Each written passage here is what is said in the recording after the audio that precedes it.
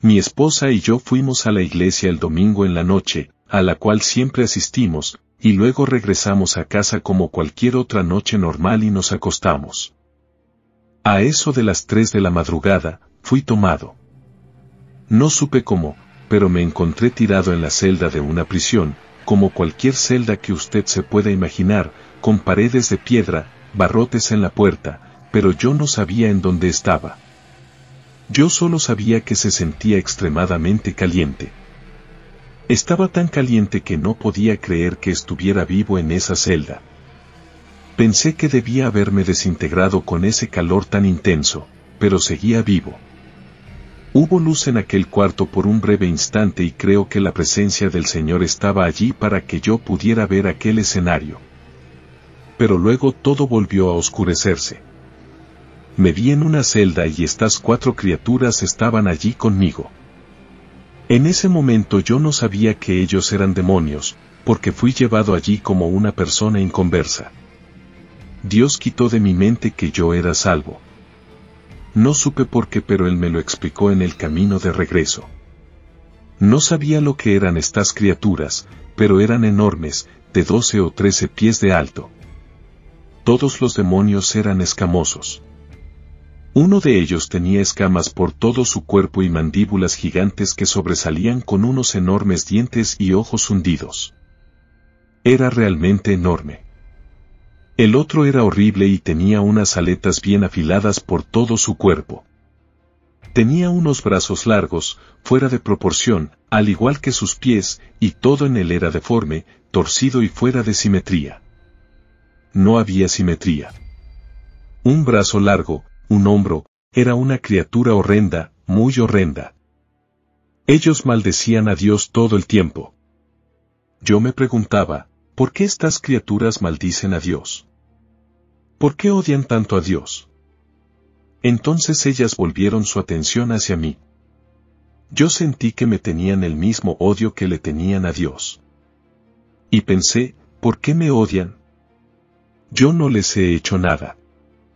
Pero ellos me odiaban con un odio que yo nunca había percibido en la tierra. Mucho más allá de toda habilidad que el hombre tenga para odiar. Ellos definitivamente me odiaban. Y supe que habían sido asignados para torturarme. Hay algunas cosas que voy a decir, que no sé cómo las supe. Es como si en el infierno tus sentidos estuvieran más agudizados. Estás más consciente de lo que estás en tu cuerpo físico aquí. Yo estaba más consciente de las distancias, del tiempo y de muchas otras cosas. Una de las cosas que sabía era que ellos fueron asignados para torturarme para siempre en ese lugar. Me di cuenta que estaba acostado en el piso de la celda y que no tenía absolutamente ninguna fuerza en mi cuerpo. Y yo me preguntaba, ¿por qué no puedo moverme? ¿Qué me está pasando? Yo estaba consciente de que a mi esposa y a mí nos gusta ejercitarnos, lo sabía, pero no tenía fuerzas, estaba indefenso allí tirado. Entonces uno de los demonios me agarró, me levantó y me tiró contra la pared, como quien coge un vaso y lo tira contra la pared, así de liviano era yo, o así de fuerte era él. Cada hueso de mi cuerpo se rompió, lo sentí romperse. Sentí dolor, y allí, tirado en el piso comencé a clamar por misericordia, pero estas criaturas no tenían ninguna misericordia, absolutamente ninguna. Uno me levantó, y el otro con sus aletas afiladas rasgaba mi carne en hilachas y la arrancaba de mí. Era un odio tan intenso contra mí y yo me preguntaba por qué estaba vivo, por qué estaba pasándome esto. No podía entender por qué no estaba muerto. La carne colgaba de mi cuerpo en hilachas, pero no había agua ni sangre, solo carne colgando, porque la vida está en la sangre y no hay vida en el infierno. Tampoco hay agua en el infierno. Entendí que ellos tienen mil veces la fuerza del hombre. Y yo, si hubiera tenido mi fuerza natural, no hubiera podido contra ellos. Yo estaba a su merced y ellos no tenían ninguna misericordia. Los demonios rigen tu vida en el infierno. El olor de estos demonios y el olor en el infierno era tan atroz que no puedo describirlo, pero lo intentaré. Es como el olor de la carne quemándose, a sulfato, así era el olor de los demonios. Era como una alcantarilla abierta, como carne podrida o huevos podridos y leche dañada, y todo lo que usted se pueda imaginar, solo que mil veces peor. Era tan tóxico, que te mataría si tú estuvieras en este cuerpo, morirías. Yo me preguntaba, ¿por qué permanezco vivo con este olor? Era tan horrendo, pero no puedes morir. Tienes que soportarlo. Ellos maldecían a Dios con profanidades. Es un lugar cruel, miserable y horrible que tienes que soportar. Otro punto importante es que Dios hizo a la humanidad la más alta forma de su creación y estos demonios son la forma más baja. Como humanos nosotros trabajamos duro para salir adelante en la vida, nos superamos y estudiamos. Y en el infierno tu vida está regida por los demonios. Estas criaturas tienen un consciente intelectual de cero. Son absolutamente ignorantes. Lo único que saben es odiar a Dios y a ti, y torturarte. Eso es todo lo que ellos saben hacer. Ellos controlan tu vida y no puedes hacer nada para evitarlo. Y así sigue, y sigue. Era una cosa horrible, tener que ser manipulado por esas criaturas que no tienen ninguna misericordia de ti. Yo estaba tirado en la celda y se puso oscuro, muy oscuro. Quiero decir, tinieblas cual nunca antes yo había sentido, y yo he estado en cuevas, en profundas minas de hierro en Arizona, y esas eran tinieblas que usted no puede imaginarse. De alguna manera, logré arrastrarme fuera de la celda, aparentemente ellos me dejaron hacerlo, y yo sabía dónde quedaba la puerta. Así que me arrastré hacia ella y cuando sentí que había salido fuera de la celda, miré en una dirección y todo era oscuridad. Todo lo que se escuchaba eran gritos. Billones de personas gritando en este lugar. Yo supe que eran billones, era un ruido muy fuerte. Si alguna vez has escuchado a alguien gritar, es algo molesto, ¿no? Pues cuando escuchas billones de personas gritando, puedes imaginar cómo esto afecta tu mente, no puedes soportarlo, deseas taparte los oídos pero es tan penetrante que no puedes evitar escucharlos. Y el miedo que te sobrecoge es increíble, porque está dominado por el miedo, pues no hay presencia de Dios en ese lugar. De modo que tienes que soportar el miedo, el tormento y la total oscuridad donde no puedes ver nada, ni siquiera puedes saber lo que viene en contra de ti.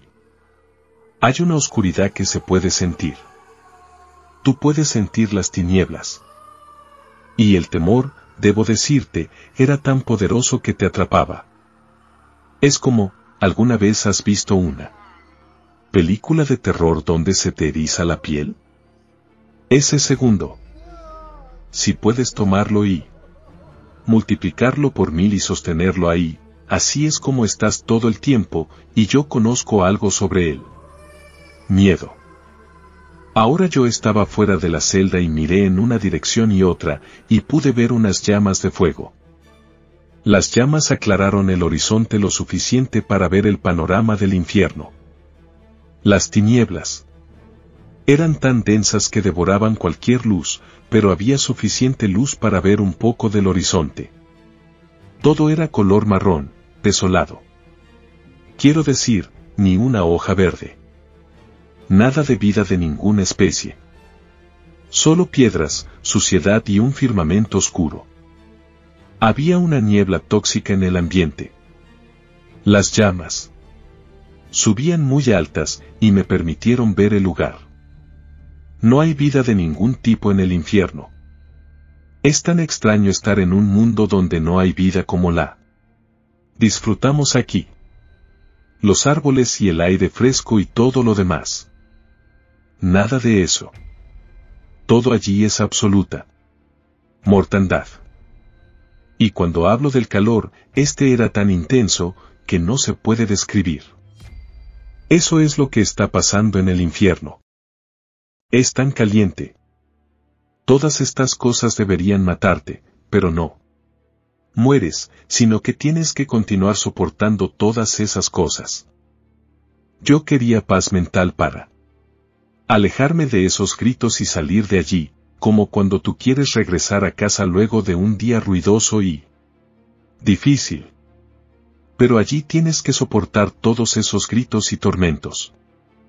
Y nunca jamás puedes librarte de ellos. Nunca. También estás desnudo en el infierno. Esta es otra de las cosas que tienes que soportar, algo vergonzoso. No hay agua en el infierno. No hay humedad en el aire. Es totalmente seco. Te sientes desesperado. Por una gota de agua, tan solo una.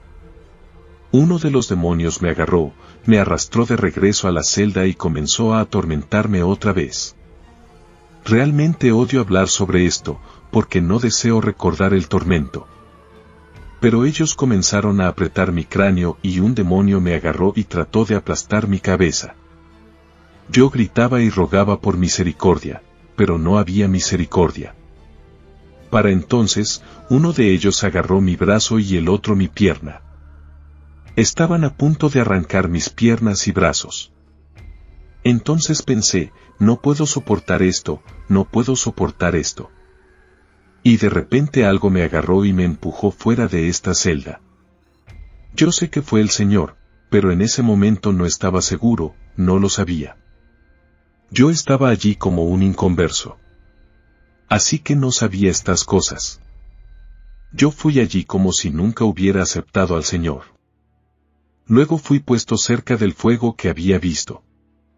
Estaba parado a la orilla del hoyo y debajo de la caverna.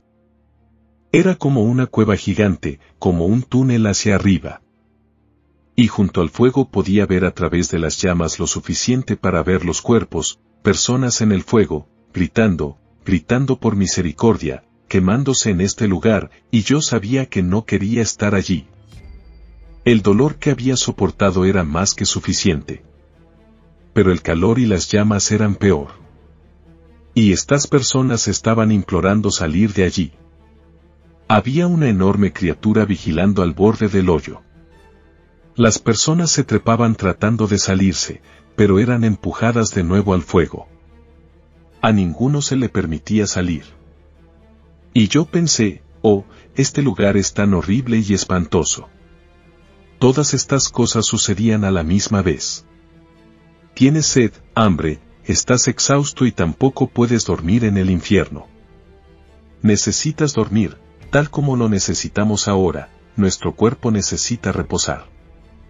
Yo estaba en la orilla de este hoyo de fuego, y vi todos estos demonios alineados a lo largo de los pasillos, de todo tamaño y forma, cada clase de horribles y deformes criaturas que usted pueda imaginar. Todas estas criaturas estaban torcidas y deformes. Enormes, pequeños, habían gigantes, arañas enormes. Cinco pies de alto, ratas, serpientes y gusanos. Allí hay toda clase de criaturas abominables. Por todos lados. Y parecían estar encadenadas a las paredes. Me pregunté por qué estas cosas estaban encadenadas a las paredes. No lo comprendía. Pero ese terror era tan aplastante que ni siquiera podía soportar tolerar el miedo. Pero lo peor de todo en el infierno peor que los tormentos y demás, era que yo entendía, que la vida seguía su curso aquí en la tierra, y que las personas aquí, la mayoría de ellos, no tenían idea de que ese mundo existe. Ellos ni siquiera saben que hay otro mundo aquí y que hay billones de personas sufriendo e implorando por una oportunidad para salir de allí, pero ellos nunca tienen oportunidad de salir. Ellos están molestos con ellos mismos por no haber tomado la oportunidad de recibir a Jesús. Están atascados allí para siempre. Esto es lo peor del infierno, no hay absolutamente ninguna esperanza de salir alguna vez. Yo entendía eso. Yo podía entender y comprender lo que es la eternidad. Nosotros aquí no podemos comprenderlo a cabalidad pero yo lo entendía, y sabía que estaría allí para siempre y siempre y siempre y que no tenía esperanza de salir. Yo pensaba en mi esposa, que nunca podría regresar a donde ella Yo siempre le decía que si alguna vez nos separábamos por un terremoto o alguna catástrofe, yo la encontraría a ella. Pero ahora yo no podía llegar a donde ella estaba, nunca la volvería a ver, y ella no tendría idea de dónde estaba yo, nunca más podría volver a hablar con ella. Ese pensamiento me molestaba terriblemente. No había esperanza en este lugar, nunca sales de allí, ¿entiendes? Nunca puedes salir de allí, jamás. ¿Sabes? Aquí en la tierra siempre hay esperanza. Aún las personas en los campos de concentración tenían una esperanza de salir o de al menos morir para escapar sus circunstancias. Pero en la Tierra nunca hemos experimentado una situación totalmente ausente de esperanza. Para entonces, iba subiendo por un túnel, aterrorizado y totalmente perdido, con miedo a estos demonios, cuando de repente, Jesús apareció. Alabado sea el Señor. Jesús apareció. Una luz brillante alumbró todo el lugar, yo solo veía su silueta, una silueta de hombre, pero no podía ver su rostro porque era muy brillante, y yo caí de rodillas y me derrumbé, no podía hacer nada, sino adorarlo, adorarlo. Estaba tan agradecido. Solo un segundo atrás estaba perdido para siempre, y ahora de repente, estaba fuera de aquel lugar, porque ya yo conocía a Jesús. Cuando recobré mi compostura lo suficiente como para formular un pensamiento, le dije al Señor, no creo que verbalicé la pregunta, simplemente lo pensé y el Señor me contestó ¿por qué te envié a este lugar? Yo estaba asombrado por sus palabras. Pensaba que todo cristiano creía en el infierno. Pero no todos creen en un infierno literal. Entonces le dije, Señor, ¿por qué me escogiste a mí? Pero él no me respondió a esta pregunta. No tengo idea de por qué él me escogió a mí para ir allí, y no sé por qué, pero él no me contestó esa pregunta. Él me dijo, ve y diles que yo odio este lugar, que no es mi deseo que uno de mi creación vaya a ese lugar, ninguno. No hice esto para el hombre. Esto fue hecho para el diablo y sus demonios. Tienes que ir y decirles. Te he dado boca para hablar, tú ve y diles. Y yo pensé para mis adentros, pero Señor, ellos no me van a creer, ellos van a pensar que estoy loco o que tuve una simple pesadilla. ¿No pensarían ustedes eso? Entonces el Señor me respondió y me dijo, no es responsabilidad tuya convencerlos, sino del Espíritu Santo. Tú ve y diles. Él también me dijo, diles que vengo muy, muy pronto. Y otra vez me repitió, diles que vengo muy, muy pronto.